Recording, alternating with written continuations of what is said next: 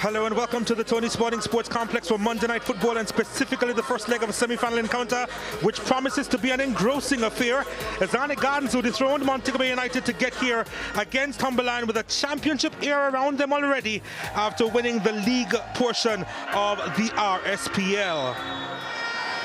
Dennis runs into some space, attracting a couple of defenders and the foul. Well, here's Isaacs from distance! What a save by Damien Hyatt! Ah, brilliant all round from the 21-year-old strike to the save by Onyx number one.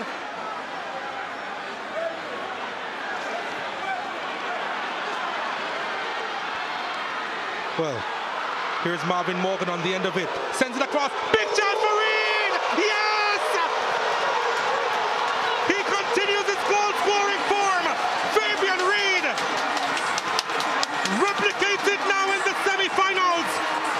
The junglists ahead inside the Tony Spalding Sports Complex. It's 1-0 Arnett Gardens. Here's Harris. Harris making his way inside the box. Still Harris! Yes, he's done it! Visional Harris! The little magician sends Arnett Gardens further ahead. The Tony Spalding Sports Complex erupts once more. Arnett Gardens 2, Humble Lion nil.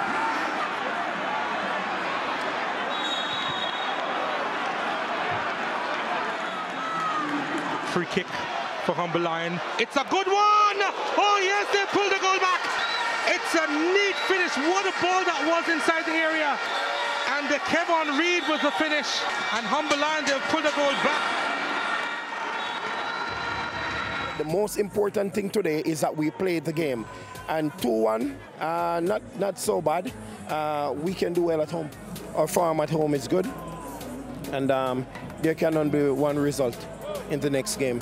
And um, we can take some comfort in playing at our home. Today the crowd was brilliant. This is what football should be about. A lot of psychological pressure, mental pressure for us. Um, we will do the same when we play at home. Arnett is the best attacking team. We have scored the most goal. The Humble Lion team is the best defensive team.